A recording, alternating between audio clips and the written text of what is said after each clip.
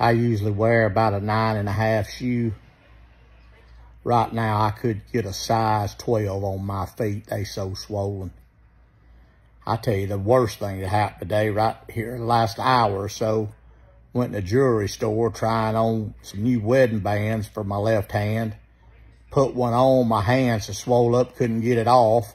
I had to use uh, uh, baby oil, put it on my finger and yank it off. My finger's about blowed up. How embarrassing. One more day up here and I'm coming home. And it ain't got nothing to do with Gatlinburg or Pigeon Forge. I love them both. I've been coming up here since I was a kid. But this young woman I'm married to has about, I'm telling you, I could beat the Iranians in the 24K walking event at the Olympics. Right now, I walk so far. I'm going to try to get some rest, take me a melatonin. I got my finger wrapped up.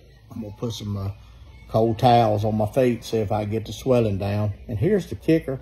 It's 90 degrees up here in Gatlinburg. And I want you to look what we got going in our motel room. A fireplace. A dad blame fireplace. It's hotter than 400 Hades in here. I'm going to try to shut her down, people. Pray for me. Gatlinburg, 2024.